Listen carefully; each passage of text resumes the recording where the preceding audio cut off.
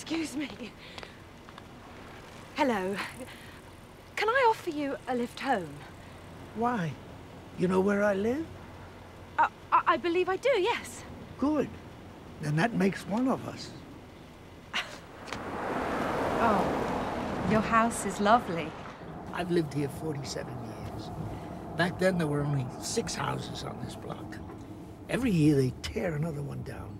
Not that I blame them. They weren't that great to begin with. But that's how I got confused. I, I didn't recognize one house. Hmm. That would be confusing. What part of England are you from?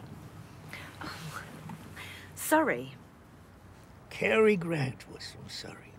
That's right, he was. How did you know that? Oh, he told me once. Well, I thank you very much, young lady. Boy, Let me help you with that. I, yeah, I, some, oh, thank you. There you go.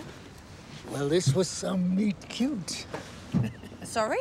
It's how two characters meet in a movie. Say, say a man and a woman both need something to sleep in. And they both go to the same men's pajama department.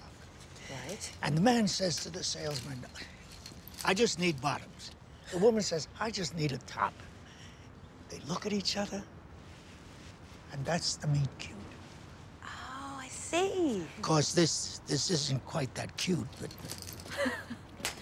So, you're in the film business? was. Yes, yes, I was. I was a writer.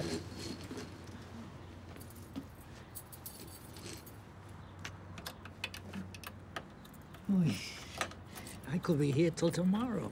Oh, here. Let me.